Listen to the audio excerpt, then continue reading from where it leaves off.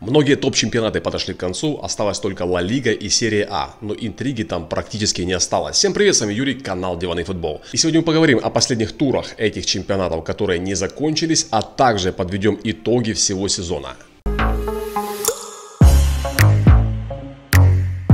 Начинаем. Последний тур. Арсенал принимал Вулс. А, турнирного значения э, этот матч никакого не имел. Это была игра, ну, здесь даже по счету видно, что вот Арсенал отпустил от себя весь этот груз ответственности, и они просто и банально начали играть свой футбол. И э, результатом они сильно не дорожили. А, понятно, что они хотели при родных трибунах так э, подытожить этот сезон на какой-то такой позитивной ноте, и у них, в принципе, это очень хорошо получилось. А, долго я говорить ни о чем не буду. Вы, те, кто смотрели матч, сами сами все видели. А, что здесь можно сказать? Первый дубль гранита Джаки. Это, конечно, большая редкость. А теперь я хочу подытожить, э, в принципе, сезон Арсенала. А многие, очень многие недооценивают Артету. Кучу комментариев получаю, где говорят, что Артета там чуть ли не физрук, Артета выбросил на ветер там больше, чем пол миллиарда фунтов и все остальное. Я хочу сделать акцент на том, что Арсенал в этом сезоне забил, а, забивает 88 голов. И это третий результат за всю историю АПЛ Арсенала. Первый это сезон был 0-3-0-4, вот этот безбашенный сезон, когда они сносили всех на своем пути. А потом еще был какой-то сезон или 98 год, или 99 И вот это третий. И это яркий пример того, что с командой все классно. Просто Арсенал не виноват, что они играют в одном чемпионате с Ман-Сити, с таким Ман-Сити, который сейчас просто-напросто набрал ну, нереальные обороты, и ну как с ним можно конкурировать?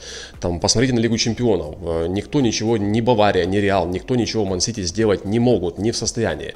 Отсюда такие и результаты. Поэтому, ну, подытожа, Арсенал провел очень хороший сезон, они очень долго были в обойме, они очень шли, долго шли на первом месте, и, ну, а, то, что некоторые принижают их заслуги, это печально. Очень-очень круто. А по поводу Вулса, ну, опять, э, команда не вылетает. Для них это уже хорошо. Команда не вылетает, команда будет готовиться к следующему сезону. Команда заканчивает э, АПЛ на 14 месте. Следующий матч а, это Астон Вилла и Брайтон. Астон Вилла побеждает Брайтон со счетом 2-1. Здесь хочу сделать э, быстро акцент на Астон Вилле и подытожить, да, когда пришел Унай Эмери, сразу было видно и сразу стало понятно, что это топ-тренер. Насчет топа это может быть звучит сильно ярко, но нет. В принципе, ну, достаточно короткие сроки Унай Эмери настроил, и все восстановили так, ну, игру приятно смотреть. Посмотрите, сколько они позабирали, поотнимали, поджимали очков у сильных команд. И, ну, видно же было какая была остановила до прихода Унай Эмери и что случилось после этого. Просто разница бросается в глаза. Брайтон тоже надежная команда. Все вы прекрасно знаете, что Брайтон в начале сезона покинул Поттер, перебрался в Челси, а, который, в принципе, этот Брайтон так и вывел на такие хорошие места. И вместо Поттера пришел э, Дедзерби итальянец, который ничуть не хуже показал результаты. Очень достойный результат, очень прекрасную, очень хорошую прекрасную игру они показали э, в этом АПЛ. Сейчас непонятно, конечно, что с ними будет летом, потому что команду, скорее всего, э, ну, уже точно покинет МакКаллистер.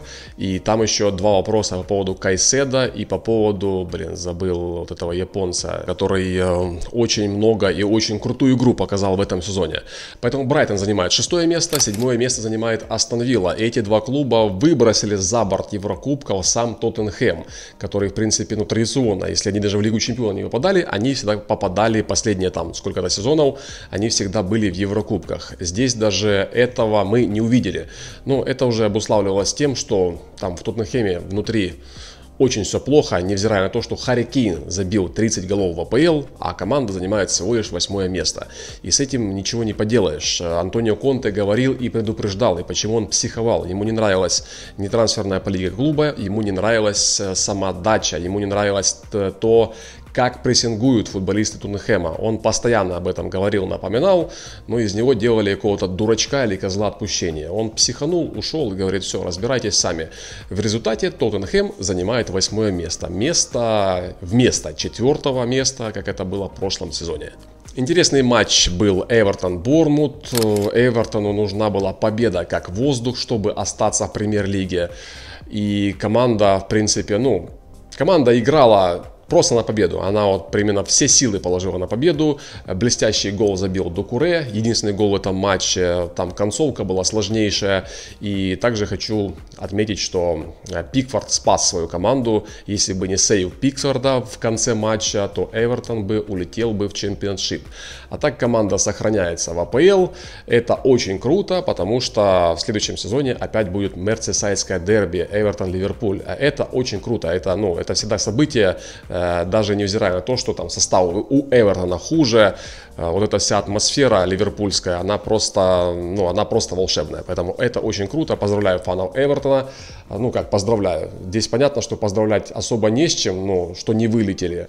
Лучше поздравлять с каким-то трофеем. Ну, это уже больше к руководству клуба.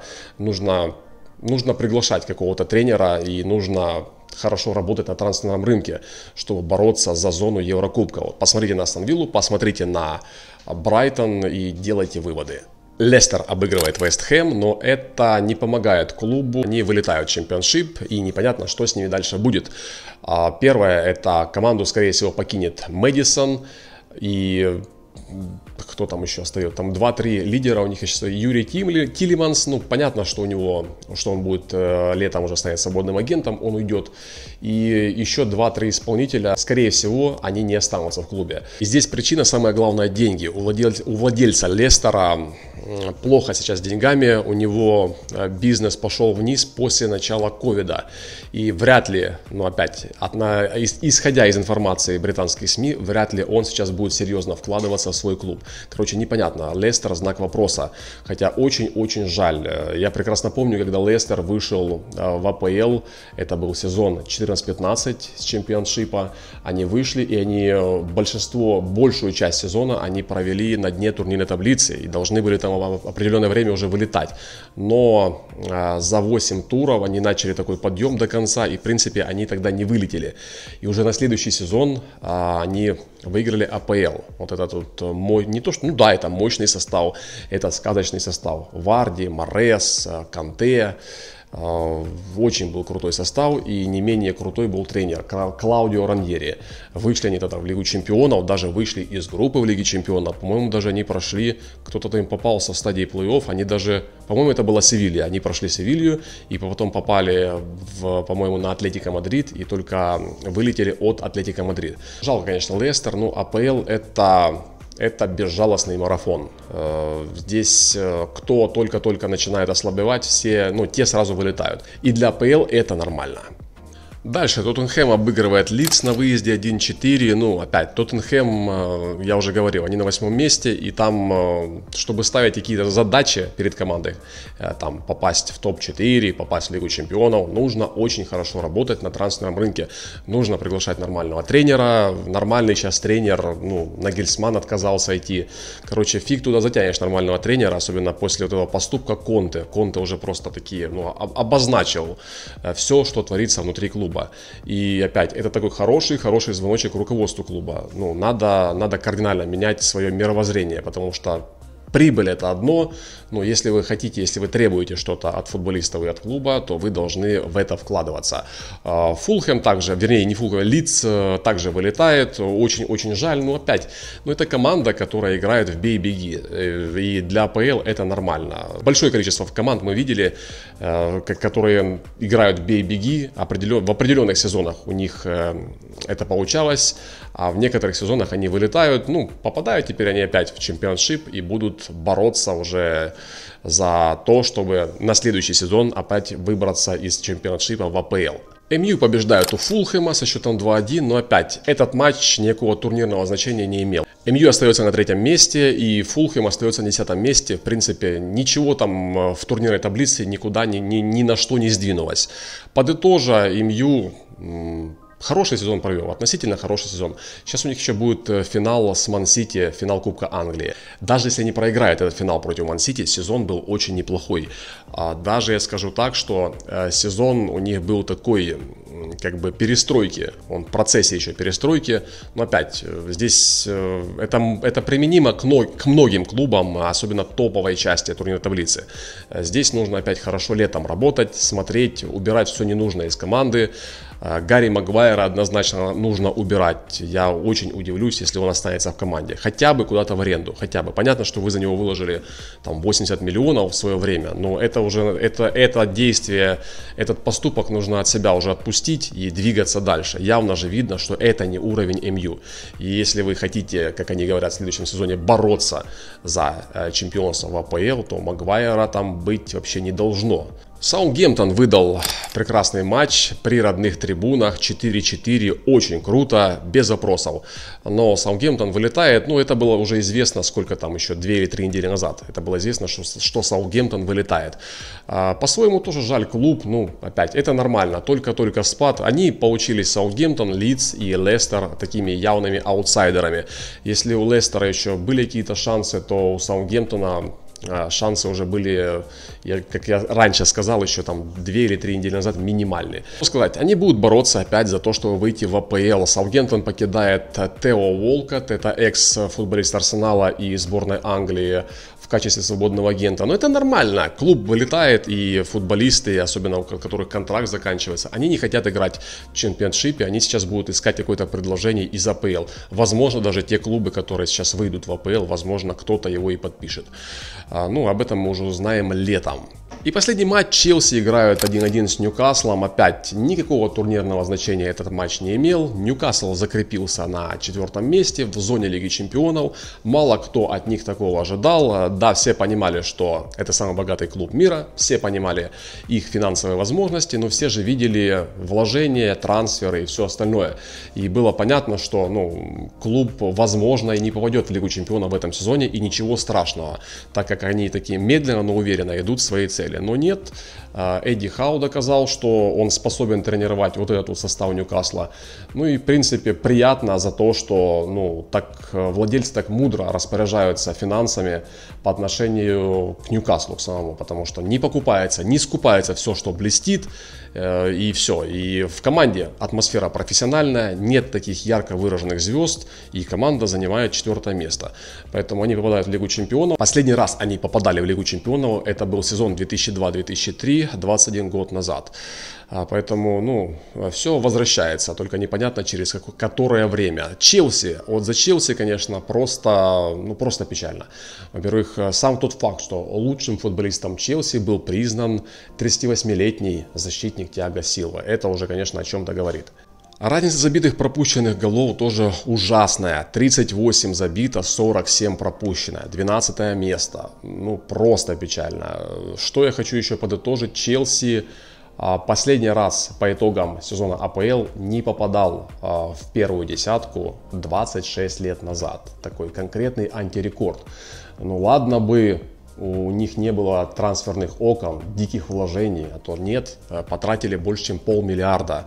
И такой вот результат. Э, объявили уже, что новым тренером будет Маурисио Почетина. Опять большой знак вопроса. Мне-то хочется, чтобы в команде все настроилось, но непонятно. А, возможно, я этого боюсь, но возможно Почетина не вывезет уровень Челси. А, просто немножко окунуться в предысторию. Почетина когда-то до Тоттенхэма тренировал Саундгемптон.